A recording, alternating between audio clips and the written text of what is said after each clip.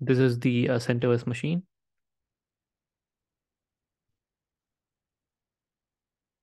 You can check out the operating system, CentOS Linux 7, and the kernel version.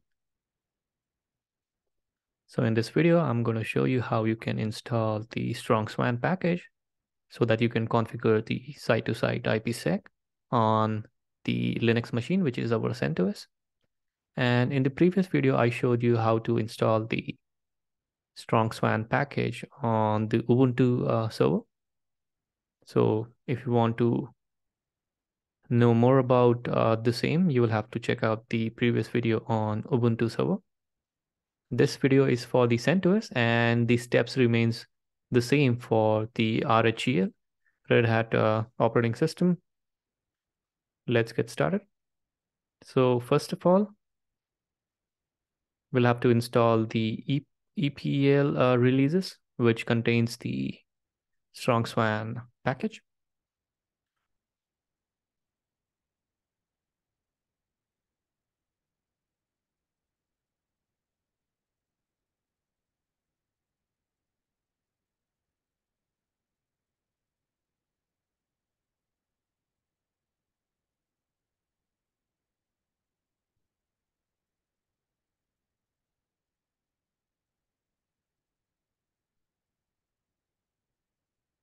So DNF is available with the distribution above 7.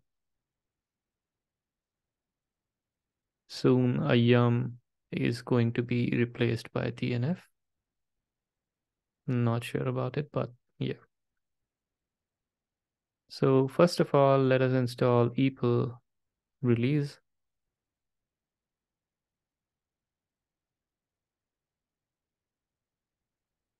Now let's try to install the actual strongSwan package.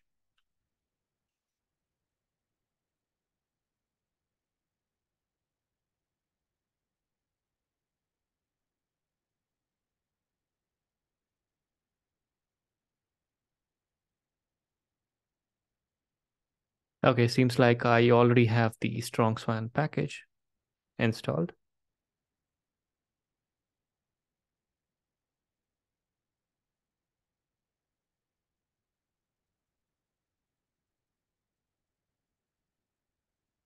So you can check out the strongSwan version.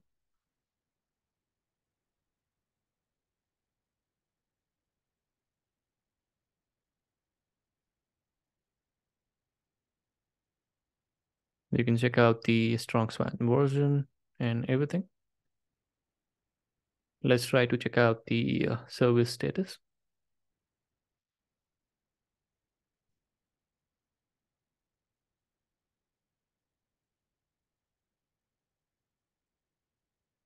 It is loaded and active. If it is not active, well, you can use the keyword start.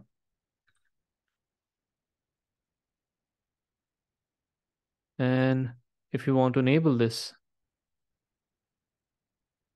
during the boot, you will have to enable the same in systemctl so that it starts the strongSwan services each time it reboots.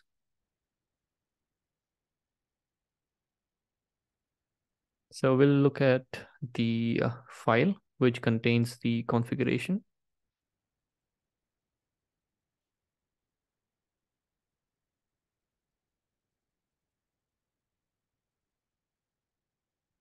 So the first file that you see, ipsec.conf, is the actual file which contains the information about your uh, IPsec connection with the phase one and phase two proposals. And the third file that you see, ipsec.secrets, will actually contains the information about the peer IPs involved in the VPN connection and the corresponding uh, pre-shared key.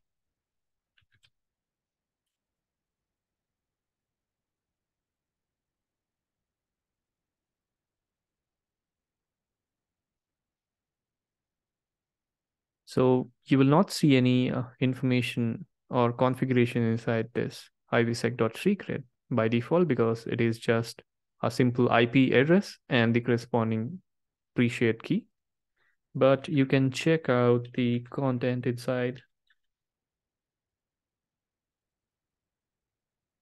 IPsec config, which will contain some of the sample connection types.